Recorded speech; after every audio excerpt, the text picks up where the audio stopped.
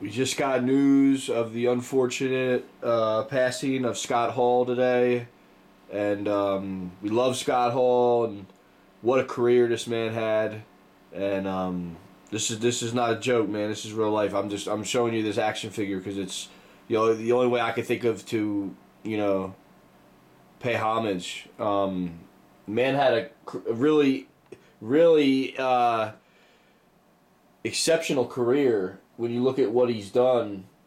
He was in AWA tag teaming with Curt Hennig. Um, he had one of the best physiques in, in all of wrestling at that time. I saw his first matchup in the WWF, now WWE. Um, I remember his whole run there. And then, you know, he, he won four intercontinental titles there. And then he jumped ship to WCW in the most infamous jumping of ships that we've ever seen in pro wrestling. Starting the NWO with Hollywood Hogan and Kevin Nash, changing the world of professional wrestling. And the NWO was, uh, you know, it was like a gang.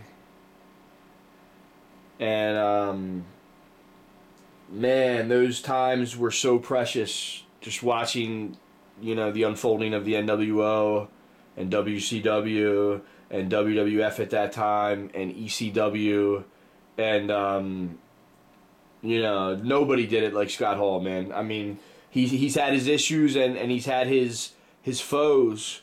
And um, yeah I, I just I don't even know what to say right now besides just that you know this was this was a real talent man. This was a guy who came up with the Sting uh, Crow gimmick this is a guy who helped revolutionize wrestling with the NWO and some of the creative ideas with that.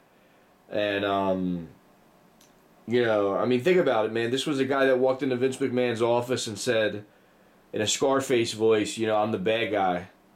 You know, and Vince was like, yeah, yeah, you're hired, bro. so, um, you know, I, I, am I'm, I'm interested actually to hear, you know, what kind of legacy Scott Hall leaves behind in the sense of, I mean, this, he had a Keith Richards like run where, you know, you know, I mean, I, I, I don't want to say it like this because I don't want to, you know, sound bad or anything like that, but like, Scott Hall had nine lives. So it, it's I, we got to hear some of these crazy party stories, some of these rock and roll stories. You know, I know people don't like to talk about that kind of stuff now with the rise of AA, but like we got to hear some shit, man. Scott Hall was a legend, and um, I don't know, man. I don't know what to say about this, man. I really don't.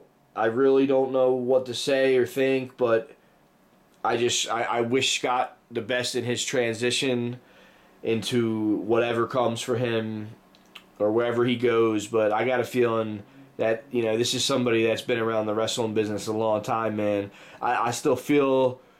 I still feel the spirits with Rick Rude and guys like that, guys who you know have always been around this wrestling stuff.